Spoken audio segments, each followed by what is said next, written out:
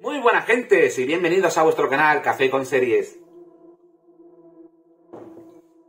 La semana pasada, tras el primer capítulo del Dr. Brain, os propuse que si llegaba a una cifra de 45 likes, seguiríamos haciendo semanalmente eh, los capítulos de esta serie. Como se han superado ampliamente, hemos llegado a 51 likes, eh, vamos a hacer el análisis, el resumen del segundo episodio y lo seguiremos haciendo semanalmente. Como habréis comprobado todos, la serie ha cambiado de día, ha pasado de los jueves a los viernes, eh, con lo cual el vídeo también ha cambiado de día y ha pasado a los viernes. La semana próxima, el viernes, será casi imposible poder hacerlo, así que lo dejaremos para el sábado, o si hubiese la posibilidad lo haríamos el jueves. Así que nada más, ya sabéis que si os gustan este tipo de vídeos podéis suscribir, darle like, activar la campanita para que siempre os avise cuando haya un vídeo nuevo y comentar. Comentadme abajo todo lo que queráis. Vamos al lío, pasamos a la review Café con Serie, vuestro canal mientras vosotros queráis.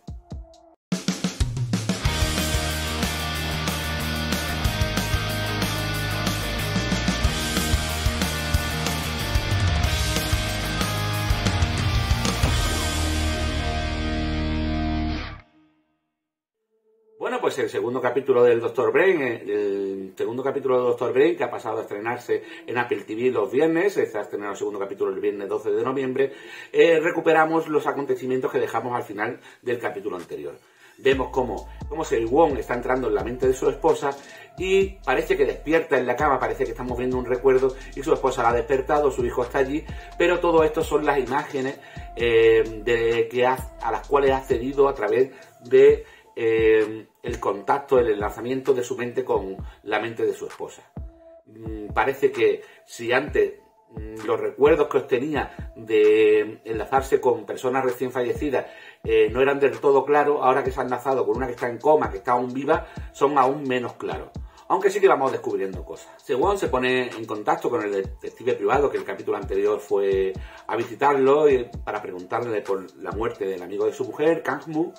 y lo acompaña al piso donde vivía eh, este amigo de su mujer, del cual la policía sospecha que él es el asesino. Eh, están investigando y empiezan a surgir estos flashbacks, estos recuerdos que tienen latente de la persona a la que mm, se ha conectado,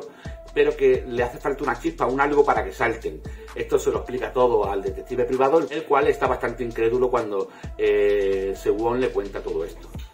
Em, ve a la, niña a través de los ojos de su padre, ve que la niña parece que sabe algo sobre su hijo, este hijo que su mujer siempre defendió que estaba vivo y él mm, pensaba que su mujer se había vuelto loca,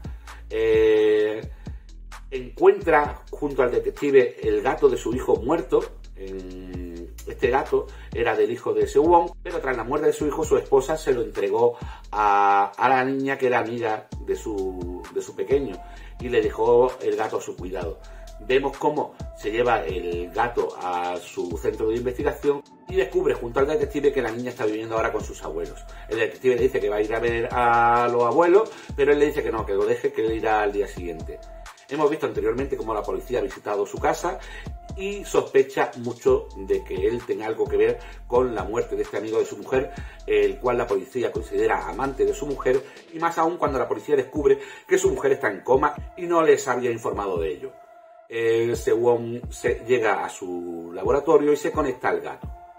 Eh, lo más flipante que he visto en el capítulo, se conecta ya no a un eh, ser humano fallecido ni a una persona en coma, sino a un animal también fallecido.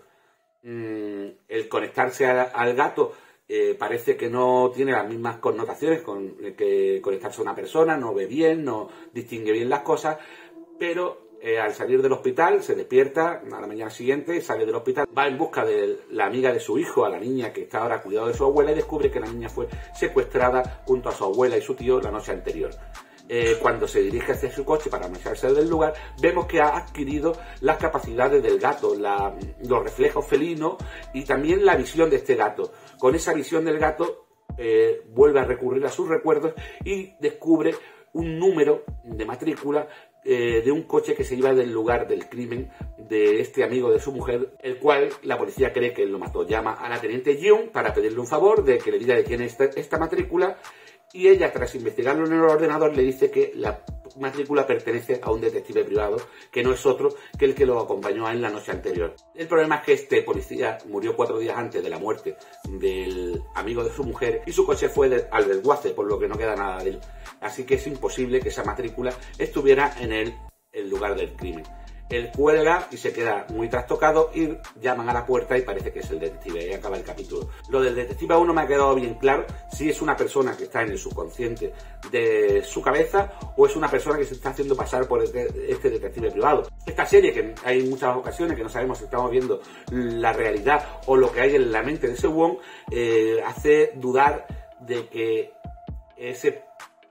esa persona exista o solo existe dentro de la mente de ese. Parece que la llamada a la puerta, el intento de abrir la misma, eh, da mm, las connotaciones de que esta persona está ahí y que no es quien dice ser, sino que es alguien que, está investigando, pero no sabemos con qué intenciones. Eh, la verdad que la serie es muy intrigante y la serie te mantiene en tensión. Es verdad que este capítulo ha bajado un poco el ritmo, no han pasado tantas cosas, lo más interesante ha sido que Wong ha entrado en la mente del gato, pero sigo, sigo teniendo mucho mucha fe en esta serie y sigo pensando que al final va a estar todo muy interesante y van a hilarlo todo y va a quedar una serie bastante, bastante entretenida. No sé qué pensáis vosotros, me lo podéis dejar en los comentarios, qué ha parecido este segundo capítulo, qué aspectos de este segundo capítulo destacáis, todo me lo podéis dejar en la caja de comentarios, que para eso están, y que ya sabéis que si os gustan este tipo de vídeos podéis suscribir, dar a like, activar la campanita para que siempre avise cuando haya un vídeo nuevo, y comentar más abajo todo lo que queráis, nos seguimos viendo en vuestro canal, Café con Series. Hasta pronto.